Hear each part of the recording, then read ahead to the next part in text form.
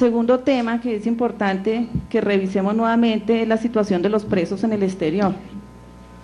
Más de 19 mil personas están detenidas en 52 países del extranjero, cerca de 8 mil connacionales no han recibido sentencias, se les está violando sus derechos principales que son universales y es que una persona no puede estar retenida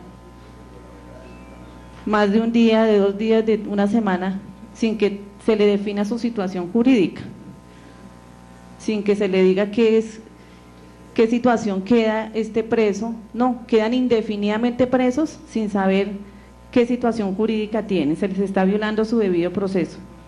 Y aquí quiero recordar, canciller, que se tramitó, este Congreso tramitó una ley la ley 991 de asistencia jurídica. Asistencia jurídica y social, pero por lo menos la jurídica porque la social se le ha delegado a la ACNUR. Asistencia jurídica, ¿en qué sentido, eh, señor canciller? Primero, tenemos un problema con los presos y voy otra vez al caso de Ecuador. En nuestros consulados y embajadas de Ecuador, por intermedio suyo, se arman los expedientes. Los expedientes de los presos colombianos. Ellos pagan sus abogados, ellos se, rebuscan la forma de solucionarlo. Pero si la embajada o el consulado colombiano no arma el expediente en la Corte Suprema de Ecuador, ellos no van a tramitar absolutamente nada. ¿Y a qué me refiero? A la repatriación. Ha funcionado muy bien el convenio que se reactivó hace unos años el gobierno colombiano ha sido muy diligente en la repatriación, pero no tanto en los consulados. En los consulados sí pasa y es precisamente que no se pueden armar los expedientes porque o no hacen el trabajo en los consulados y posteriormente tampoco le hacen un seguimiento a esos expedientes de los presos colombianos en la corte. Ese es el caso de Ecuador. En los otros países exactamente tienen, tienen que hacer lo mismo, armar el expediente del preso y es solicitándole los papeles aquí en Colombia, armándole su carpeta para que ese proceso siga adelante de repatriación. La repatriación, y se llegó a un acuerdo y se hizo con el ministro en su momento del Interior, Sabas Pretel, él permitió, canciller, que la repatriación se hiciera con la siguiente condición, que, que cuando llegaran los presos a Colombia, en el término de un, uno o dos meses, ellos quedaran bajo la libertad condicional, porque ya venían con los requisitos que, estaban, que están en la ley penal, pero que han cumplido en las diferentes cárceles del exterior, así que no hay hacinamiento, no hay hacinamiento.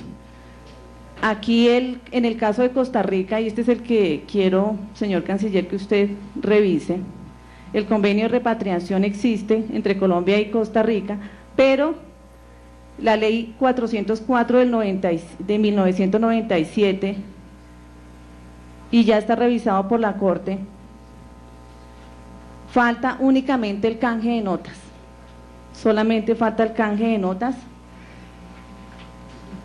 Y pienso que esto son cosas ya muy operativas, señor canciller, pero en este momento el actual ministro del Interior se le ha solicitado apoyar la repatriación de los presos de Costa Rica, pero él nos contesta diciendo, no, es que vamos a, crear un hacinamiento. Parece que el ministro del Interior no conoce este procedimiento que ha funcionado muy bien con los otros países, pero lo que compete al canje de notas sí es Cancillería, y esto es una solicitud que hacemos ahí, más o menos 500 colombianos en cárceles de Costa Rica, que están solicitando reactivar este convenio de repatriación. En cuanto a los consulados y embajadas, el tercer punto, canciller, las quejas son al unísono de todos los colombianos en el exterior. ¿Por qué son tan costosos, canciller? Los pasaportes, la, documentación, el servicio. ¿Por qué no miramos un poco esas finanzas y esos presupuestos que tienen consulados y embajadas? ¿Por qué son tan costosos? Aquí tenemos algunos datos en la presentación que no está saliendo tenemos algunos datos. Para un pasaporte ordinario de 32 páginas, siguiente, aproximadamente 98 dólares se les cobra. Eh, me informa el secretario que hay una llamada de la cárcel de Pensilvania, como les había comentado, empezamos algo tarde, pero ellos estaban preparados para hacer sus llamadas escucharlos, ministro.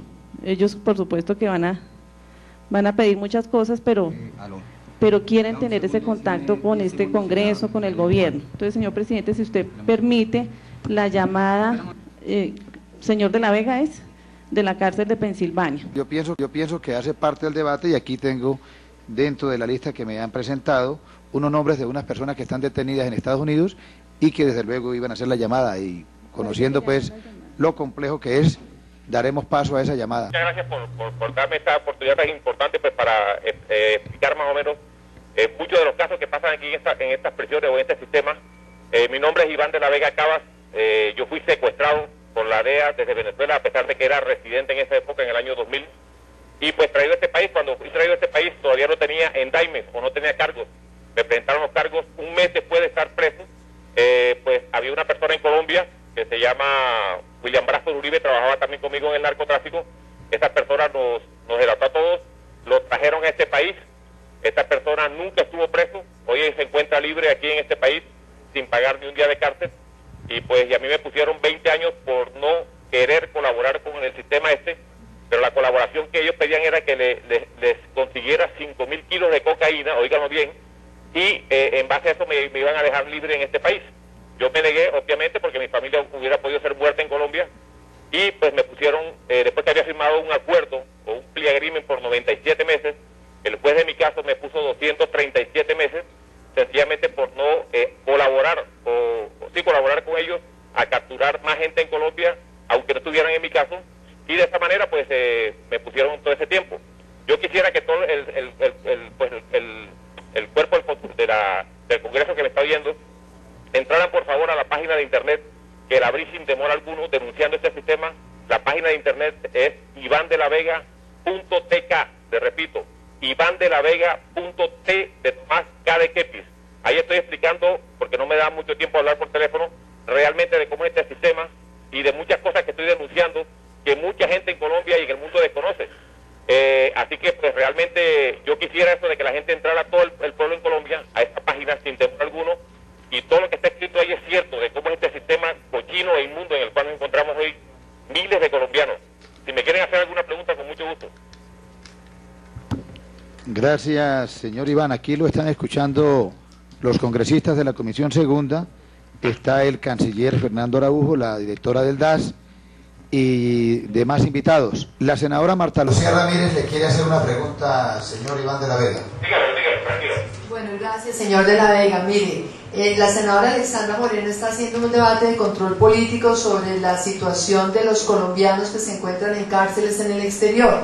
Y ella ha informado acá que esos presos, eh, pues varios de ellos, no están teniendo la garantía del debido proceso y que en más de la mitad de los casos todavía no se les ha eh, hecho una acusación formal. Quisiéramos saber si en el caso suyo siente usted que se le esté negando la garantía del debido proceso, si usted ha tenido la asistencia eh, judicial por parte de los eh, defensores de oficio en Estados Unidos o cuál es realmente la queja que en su caso particular existe sobre esa falta de asistencia y esa falta de garantías. Prisiones, realmente el trato es malísimo, humillante, denigrante.